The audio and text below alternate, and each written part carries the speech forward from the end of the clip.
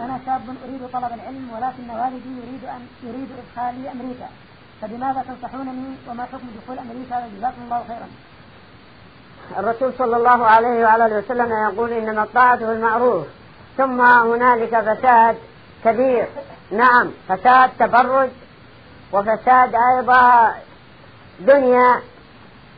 أحد إخواننا ذهب إلى بلجيكا يعلم الناس القرآن.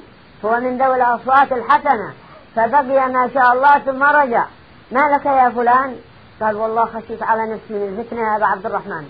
قلت لماذا ما أخذت اهلك قال ألا تظن هذا فقط فتنة النساء. فتنة الدنيا هناك. فتنة الدنيا وفتنة النساء وفتن ماذا يعني؟ فماذا بارك الله فيكم؟ فالمهم ربما يفتن دع عنك ما آه، سيعمله هنالك.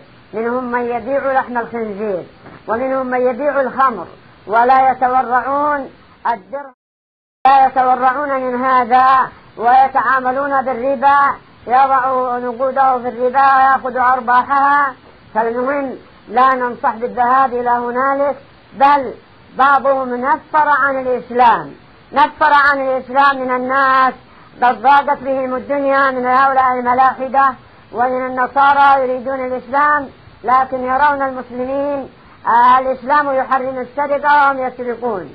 الإسلام يحرم شرب الخمر وهم يشربون الخمر. الإسلام يحرم الزنا وهم يشربون وهم يزنون. وهكذا لكن من ابتلي بهؤلاء فليقل لهم إن الإسلام بريء من هذا وإنما هو فسقة المسلمين الذين لا يلتزمون بكتاب ولا سنة. النصيحة العلم.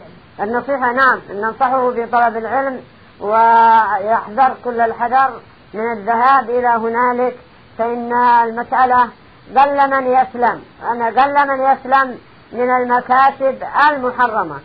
والله المستعان.